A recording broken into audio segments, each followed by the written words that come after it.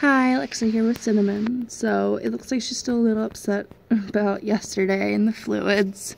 She's always a little sassier the day after, but you can't blame her.